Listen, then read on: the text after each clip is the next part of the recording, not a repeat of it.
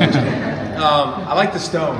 I like the. Uh, I, don't, I don't know anything about the light stone, but I was looking at it yesterday, and it kind of reminded me because we were just at Virginia Tech. They have the Hokie stone, so it kind of reminded me um, of that. But a cool, very unique looking camp, different campus than I've than I've seen before. So it's been. Uh, it's always fun, man. It's just. It's cool.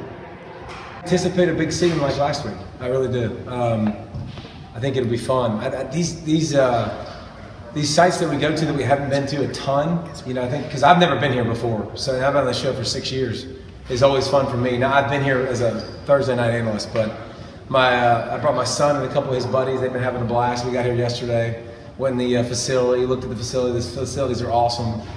Playing all the arcade games was awesome. I mean, the, the locker room stuff is cool. So everything about it so far has been a lot of fun. What are your impressions of? Dude, it's fun. Um, you know, it's uh, it's got everything I think you, you want. Uh, it's, it's interesting when you go from town to town, just looking at houses and uh, restaurants, and I've been told about that this Mexican place like 35 times, the same restaurant. Every time I tell somebody I was going there, they keep saying the same name over and over and over again.